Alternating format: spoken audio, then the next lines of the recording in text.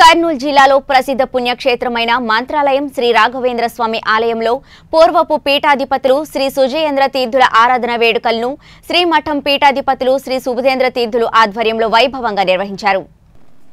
ఈ సందర్భంగా సుజయేంద్ర తీర్థుల బృందావనానికి విశేష పంచామృతాభిషేక పూజ ప్రత్యేక పూజలు నిర్వహించారు. అనంతరం సుజయేంద్ర తీర్థుల చిత్రపటాన్ని స్వర్ణరథంపై ఉంచి ప్రత్యేక పూజలు చేసి భక్తుల హర్షధ్వానాలు మధ్య మఠం ప్రాకారం చుట్టూ ఊరేగించారు. ఉంజాల సేవా మండపంలో పీఠాధిపతులు సుబుధేంద్ర తీర్థులు సుజయేంద్ర తీర్థుల ప్రవచనంలో భక్తులకు చదివి వినిపించారు. అంతకుముందు రాఘవేంద్ర స్వామి మూల బృందావనానికి ప్రత్యేక పూజలు నిర్వహించారు. ఈ ఆరాధనను తిలకించేందుకు భక్తులు అధిక సంఖ్యలో తరలి వచ్చారు భక్తులు ముందుగా గ్రామదేవత మంచాలమ్మను దర్శించుకుని రాఘవేంద్ర స్వామి మూల బృందావనాన్ని దర్శించుకున్నారు. ఈ కార్యక్రమంలో పండిత కేసరి రాజా ఎస్ గిరియాచార్ మఠం ఏఏఓ మాధవశెట్టి మఠం manager Venkatesh Joshi CRO IP Narasimhaswamy Honali Vyasaraj తదితరులు పాల్గొన్నారు.